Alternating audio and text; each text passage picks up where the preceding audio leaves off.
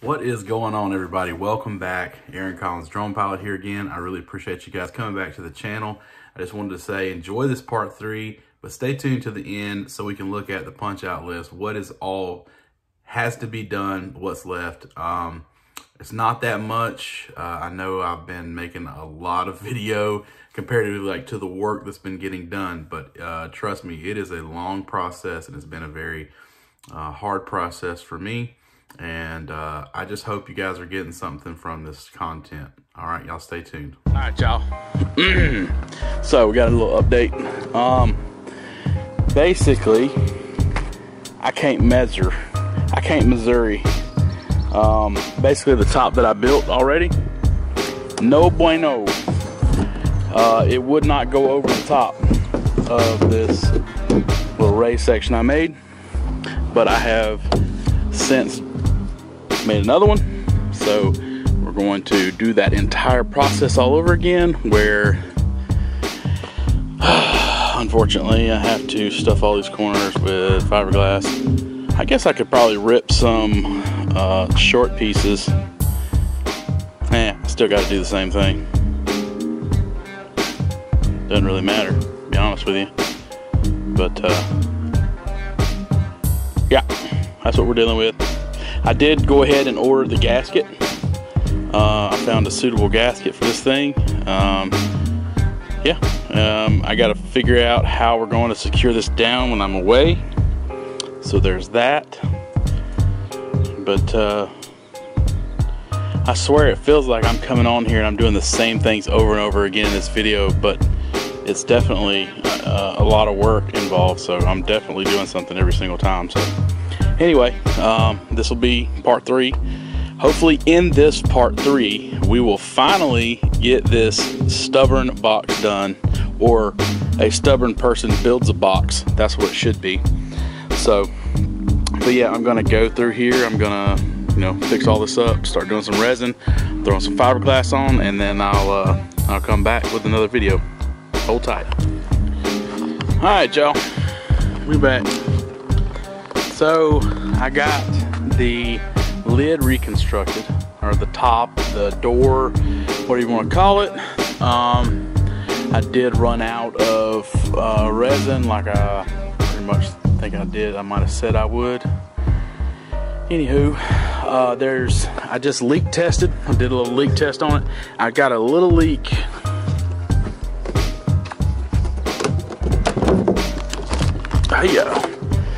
I've got a little leak right here in this corner.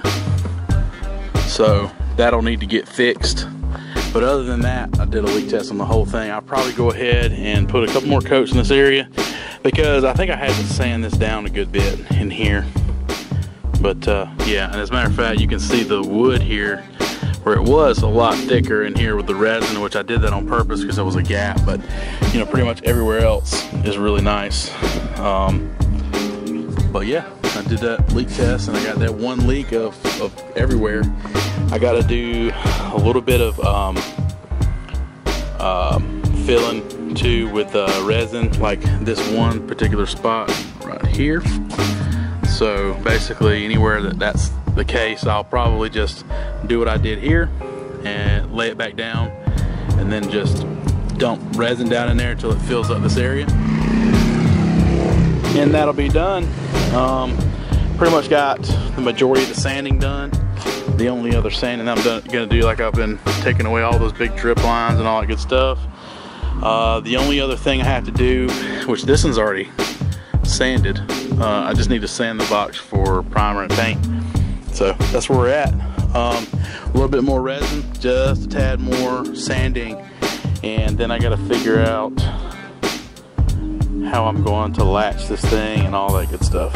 So if you have any suggestions by the time this video comes out and I haven't figured it out, you know, I would take uh, any um, any suggestions you might have in the comments and tell me, you know, if you've got something similar to this or, you know, I was thinking about doing something actually similar to the kayaks to actually have bungees on there, but I really want to have the ability to lock it.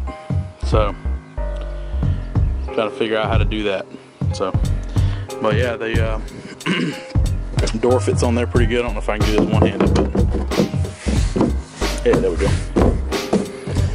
Way better than the other one where it wouldn't actually fit. So, yeah, man, super excited. Can't wait to get this thing, get some paint on this thing and get it in the trailer and let her eat.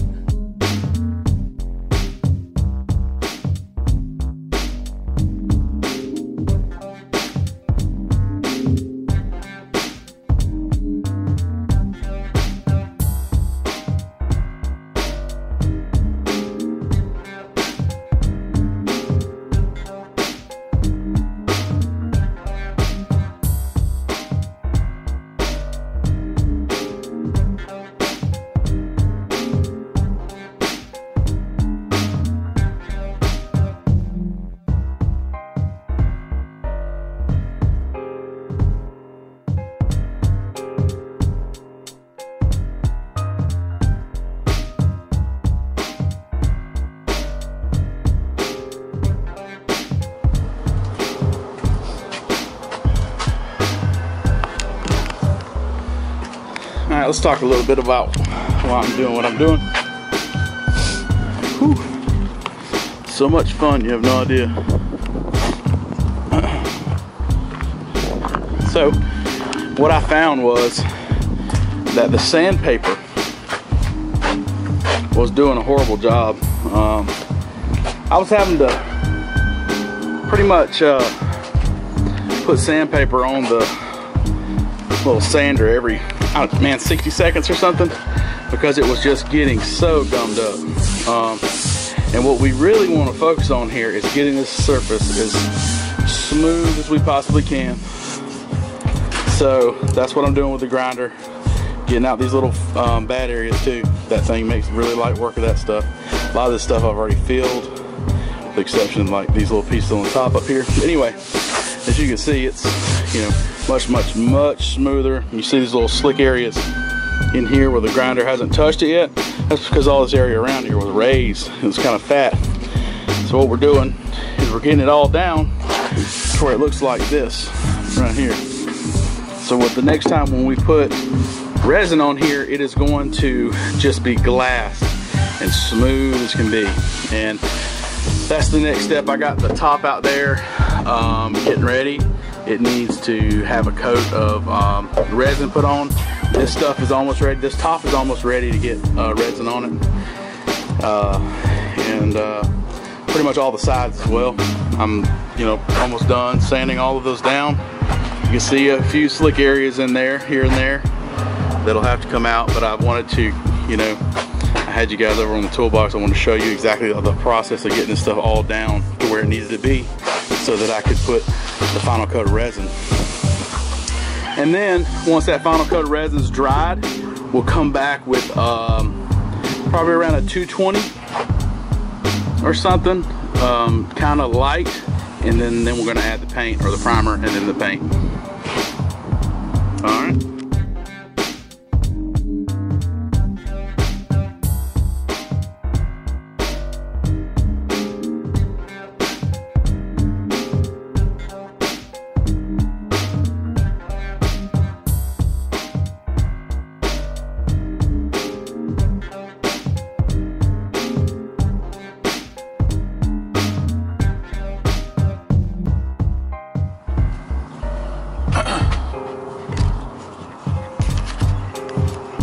Take a look.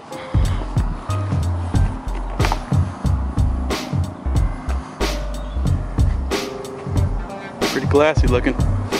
You see where it's a little thicker in certain areas, but it's pretty slick. Um, and the reason is some of the areas got sanded a lot more than others. So I try to lay it on there as thick as possible. We'll get a glassy outcome. And same thing with the top the lid. It's pretty glassy on there. Not a lot of thick spots. I did come back and add some right in here because it was a little low. But yeah. And then I went ahead and coated the edges too because they're gonna need to be waterproof as well. I'm just gonna keep on coating those with uh, the uh, got resin all over my arm uh, with resin. It looks like. So basically, same thing, you know, all over. Uh, I'll do this exact same process. Uh, obviously, I just sanded this stuff. When this dries, I'll turn it on one of the sides and do one whole side all at once, just like I just did. And then repeat, you know, you know, five more times on that. Uh, also, that one, I will flip that upside down and do the inside of that one as well. I want the entire thing uh, encapsulated in uh, resin for the lid. So that'll be, do I'll be doing that as well. So basically that's it. That's the, that's the final stages. I'll do a little bit of um, sanding once all this stuff is all set up really nice and uh, hard. And then prime, then paint. That's it. Here we go, side number two.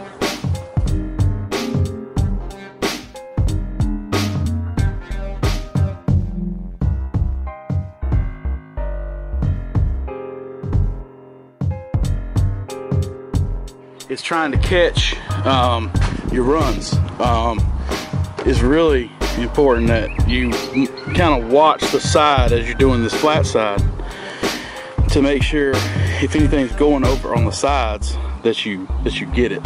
Um, it's just a pain in the butt sand, as I've learned throughout this process. Go on. That dog right there is always into something. He is something else. And the right pistol. Huh? Dog. He's one climbing machine too. Hey guys, take it easy over there. It's Johnny Cash over there. He gets hell from these other roosters. Anyway, let me shoot this dog. Get, get. Go lay down somewhere. Uh-uh, go lay down somewhere. He knows he's not supposed to be over here already. He's a smart dog. Look how glassy that is though. It's incredible. After you do a, a good job sanding, it's, it's amazing what this stuff turns out looking like. I tried doing it with a roller, by the way, and a roller kind of leaves like little spikes everywhere in it. That sucks. So not gonna be using that. Paintbrush is fine. Just lay it on there thick and spread it out. Try to spread it out. Thanks for that. Try to spread it out as evenly as you can uh, to get the best results. Obviously, I, can see now where I got a little bit more over here than I did over here. It's not too dry. Yeah, there we go. Kind of spread some of that over here in this direction. It's pretty easy while it's still wet. Same with this over here.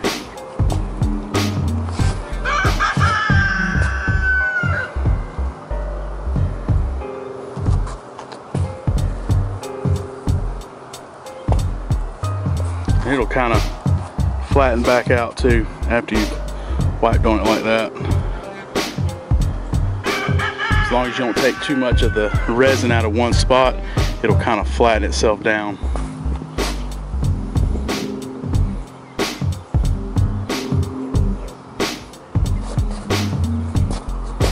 But man, it's glassy.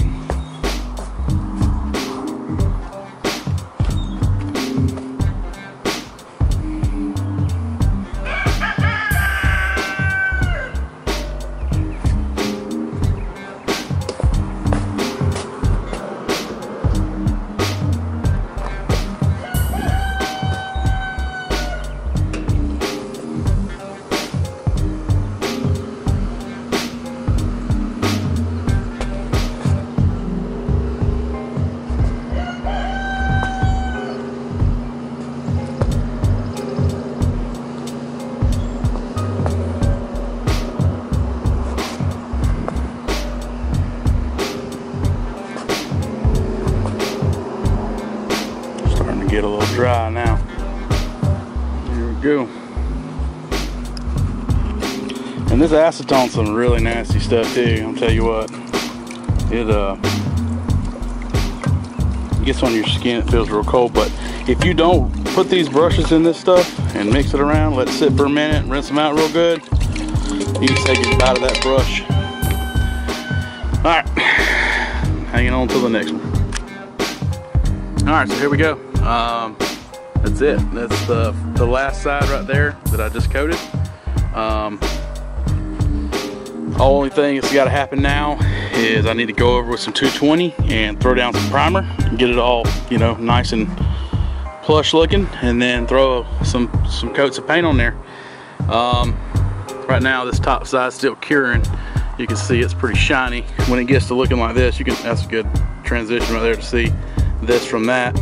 Once it looks like this, I'll pick it up, put it on the table, um, and let it cure. Probably let it sit there for tomorrow uh, until it's really, really super hard. Um, and the sun will do a great job of that, I think, the heat. Um, I do have enough um, resin to put another coat on this and then also on the sides I want to put another coat on the sides so I got plenty of resin to do that and hardener good to go. So um, hindsight's 2020 I wish I would have known. Um, you know a couple things. Sanding ain't gonna work. You need a grinder.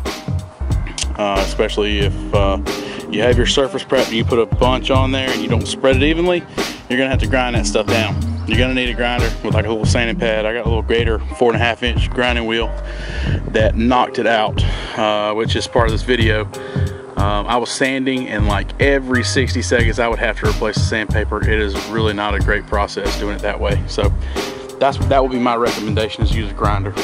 Um, so yeah, uh, pretty excited um, that it's nearing completion. I'm ready to get that thing bolted down in the truck and go fishing, honestly. Um, it's been a few weeks and I'm starting to have withdrawals. So anyway, we'll let this thing cure up and that's where we're at right now.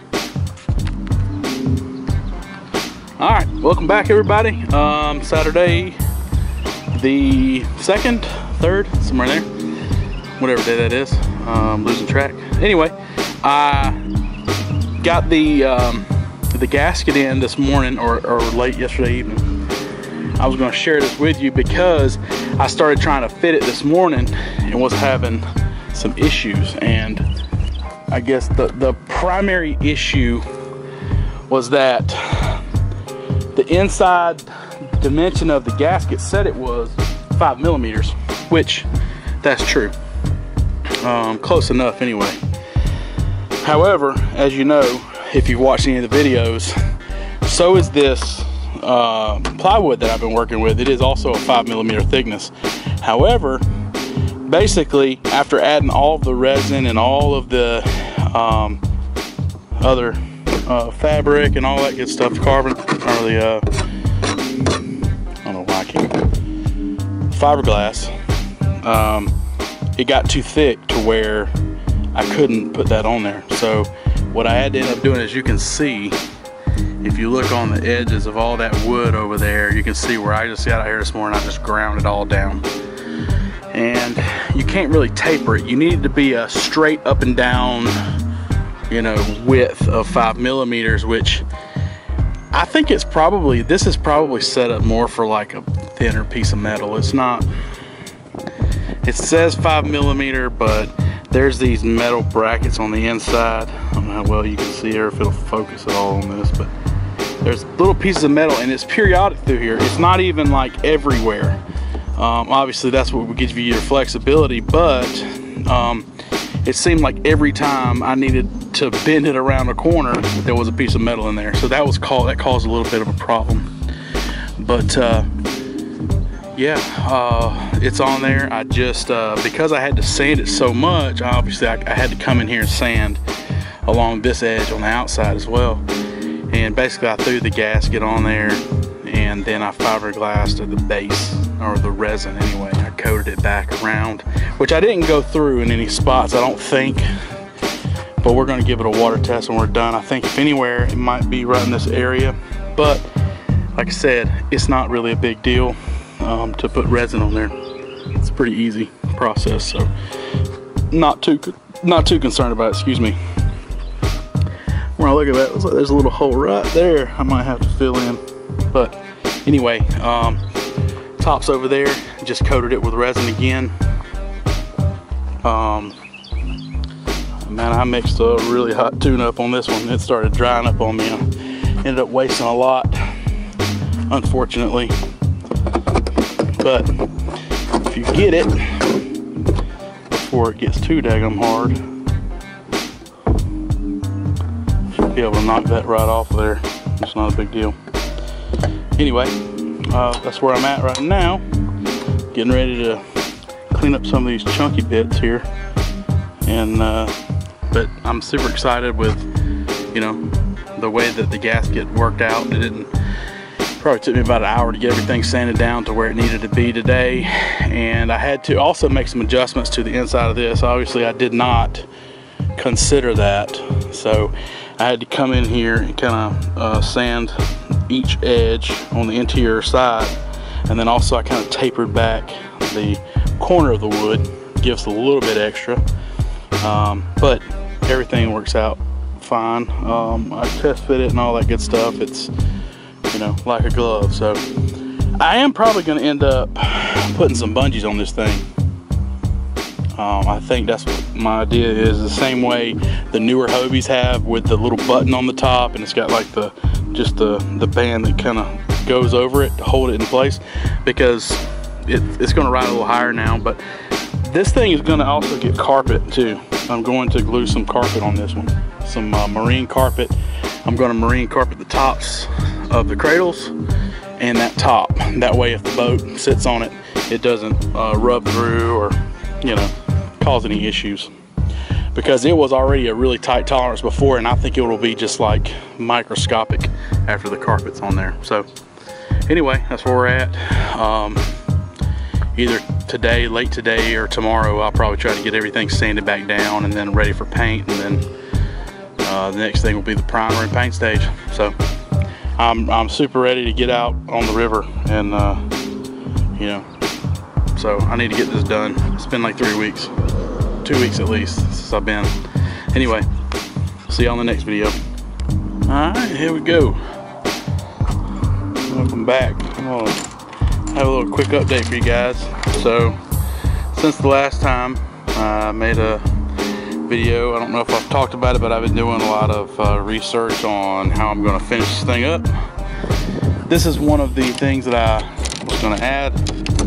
Basically is these um, latches for, it's kind of like a, same thing as in a boat, you know, to open. Really hard to do with one hand. So, hold on just a second.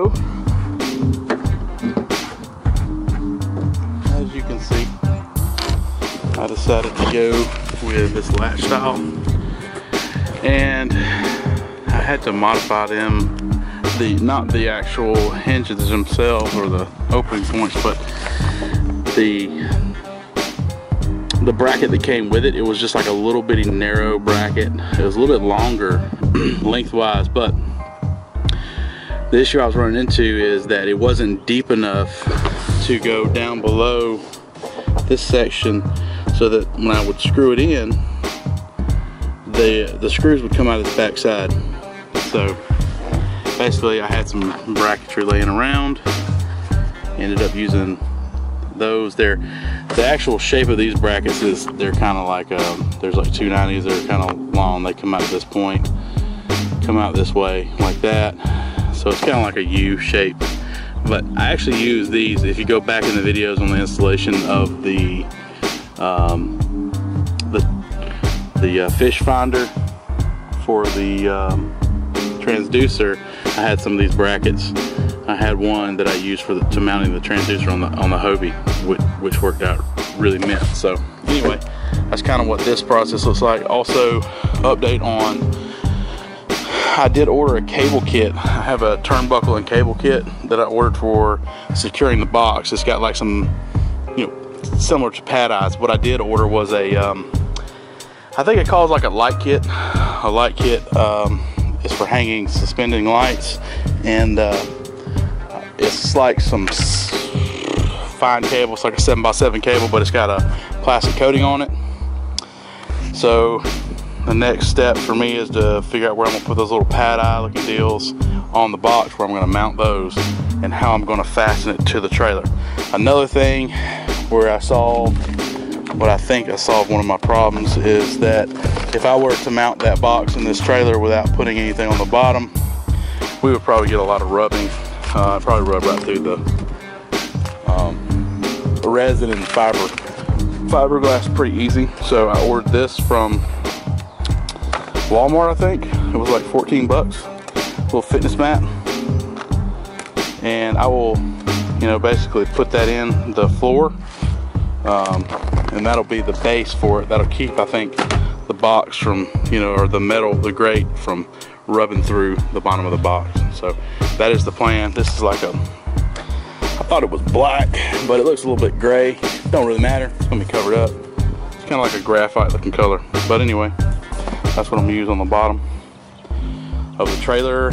And paint primer, the funny thing about it is the paint primer is the thing I ordered first and everything is here now for the exception of the paint and primer. So that's what we're waiting on. And I'm gonna get this thing installed in the uh, trailer uh, once the paint and everything gets on there. I'm gonna do some more test fitting, but um, I did get some carpet too for the tops of the the cradles, and I'm probably gonna put some a little bit on the box on the top here too. Not 100%, but it's marine carpet. It's super cheap as well. Um, I've been letting this box stay outside for the last several days to kind of let it, you know, fully cure all the way. So everything's pretty good. Just needs a quick sanding and then, you know, apply the primer and paint. So anyway, I'll follow up. I'm going to cut these mats in the right size because they're obviously, if I put two of them together, it's gonna be too wide for the trailer. Um, looks like they're about 20, yeah, they're 22 by 22 by half inch thick. So the trailer's three and a half foot wide. You know, had to cut them down a little bit, not a big deal. Anyway, my follow up. All right, the mat is cut.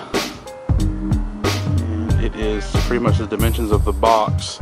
You know, I got this um, conduit over here on the sides of the trailer that I had to kind of compensate for, but the box is this exact same shape all the way up to the front. Um, so there's some extra space up there, obviously, on the sides, but you won't be able to tell that once the box is in here. It'll look just like it's pretty much the exact dimensions of the box. So cushion for the entire box. That's what it looks like. Pretty straightforward. Basically, I used the right side of this these grooves for measurement and I just went 20 inches that way and 20 inches that way and that gives me the inside dimension which is 40 inches from the inside of that conduit to the inside of that conduit which is exactly the same way I um, measured up the box so that's how I got the inner dimensions I mean I guess I could have um, you know kind of bumped it out right there in that one spot but you know man it's gonna be all good All right, that's what it looks like. But let's square away some things first. Um, I had no idea uh, how how huge of an undertaking this would be. Um, so I'm learning just as much from doing as uh, maybe, hopefully you guys are getting something from it besides my frustration and not uh, knowing how to do this uh, box. Um, but I have learned a tremendous amount along the way. Um, I'm going to start throwing some links in the description to let you guys see what all the parts I was using and let you know the tally of the build because at this point I didn't think I was going to spend quite as much money as I was. Uh, but I'm pretty much sure I have at least about $140 in resin only. That's uh, not including anything else any other material. So but anyway let's let's go through this run through this closeout list real quick and talk about what's got to be done so um, there's there's needs to be touch up in a few areas. Um, like for instance, on the top, the lid where I put the latches in, uh, there's some cracking up there because I did not reinforce that with fiberglass. That needs to be done. Um, uh, there may be a couple areas that need to be, um, have a little bit more resin on there. Um, I think that's it for the touch up. I just need to make sure. Oh yeah, I was trying to, when I was trying to install the, the, the latches, um, on the inside where the brackets are, I was actually bumping it out with a hammer and I actually cracked some uh, resin on the back side of the raised lip. So that'll have to be touched up. Just, you know, get in there with a with my Dremel and grind out that small little area and then throw some resin on it. Should be completely fine. Um, anchoring system. This one is probably taking me the longest. I already have the anchoring system in now and I am just trying to figure out how to make it work.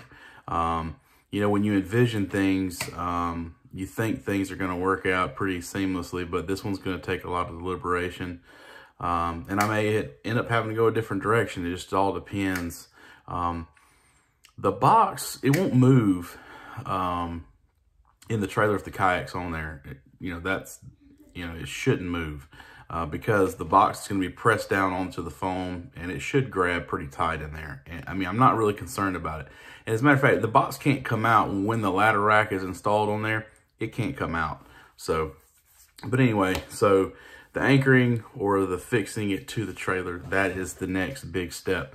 Um, next would be, uh, I ordered the paint and primer first. Still hasn't got here. Uh, it'll be here Tuesday. I think the only other thing that's I'm actually waiting on to get here is the uh, marine carpet, which will be here between like the 14th and the 19th or something like that. But that is not really holding me up from finishing this project, be honest with you. Uh, that's more of a, you know, protect the kayak hull type of deal because it's going to go on top of the, um, the little carriers on top of the box. So uh, that's just something I wanted to do. Um, primer and paint, like I said, it'll be here Tuesday. Um, that'll be, today is the 8th, so um, it'll be here, you know, in just a few days.